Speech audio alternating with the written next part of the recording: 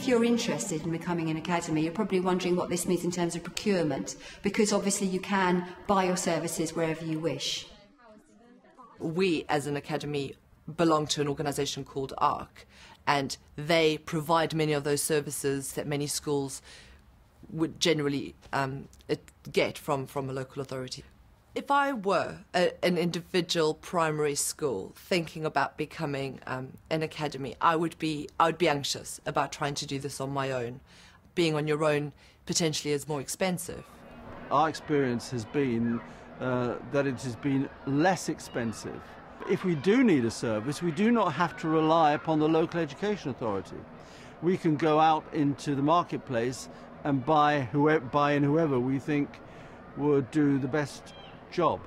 I definitely feel I've got value for money in being able to outsource myself. It is quite time consuming though, so you do have to think that somebody else other than the head probably has to be responsible for these things, which brings um, it back to the finances director or bursar in the school.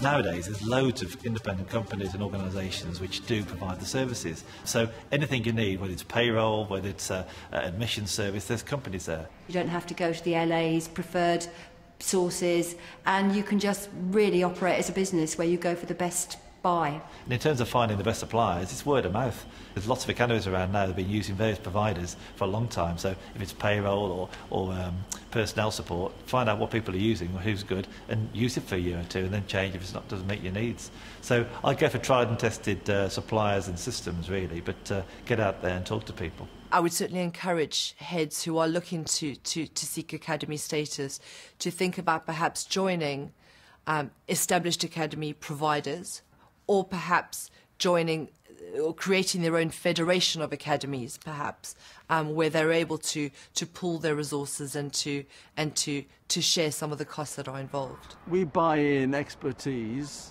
and support when it's necessary. We're not tied into a contract.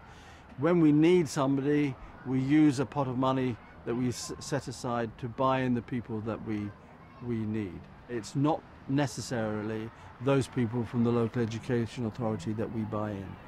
Before we Ofsteded, we bought in an Ofsted inspection team privately. It cost us a couple of thousand, and they did an inspection. Now, we just did that, and that's very cheap, but it's a proper team, high quality, and they gave us a, a mini inspection before the Ofsted inspection proper. So there's things like that you can do quite easily, which uh, you probably wouldn't get from a local authority.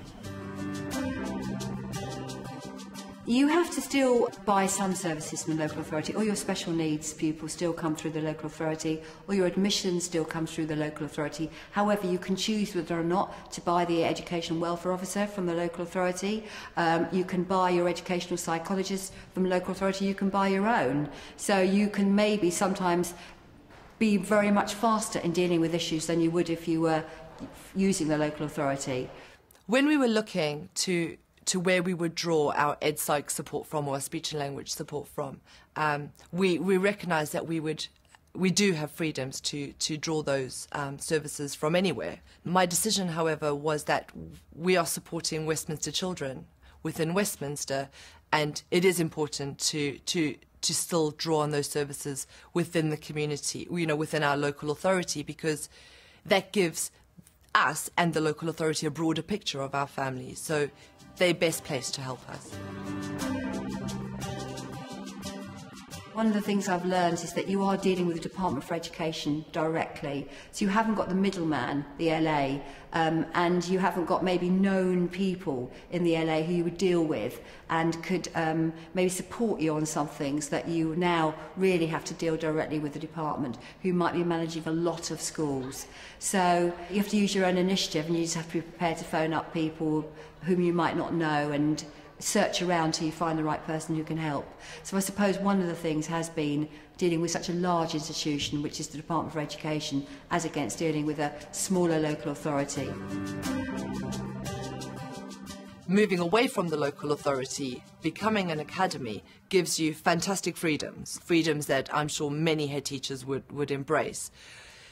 But there are very important services that a local authority provides in terms of IT, health and safety, you know, support, um, education support, governance, you know, training, training your NQTs. There's there's a wealth of services they provide. I don't particularly think we need the LA. Um, they do provide a service, and we're still. Um, I still attend meetings with the LA. I still go to head teachers' meetings and, and join in that network of schools, of the local schools. But other than that, I don't particularly miss the LA, no.